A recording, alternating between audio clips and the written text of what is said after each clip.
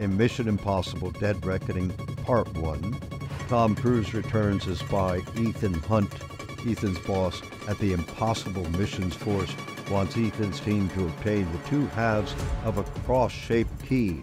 The key grants people access to the source code of a super powerful artificial intelligence entity.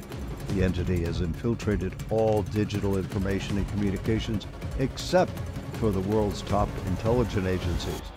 Ethan's boss wants the government to control the entity, but Ethan wants to use the code to destroy the entity.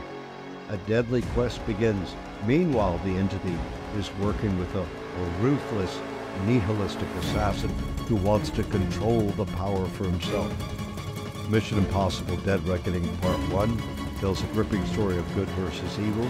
It's a superlative, high stakes spy thriller with explosive action, gripping suspense, and great characters.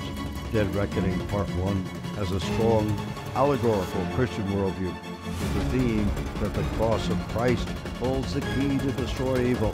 However, the movie has lots of strong action violence and some foul language, including four strong profanities. Movie Guide advises strong caution for teenagers and adults.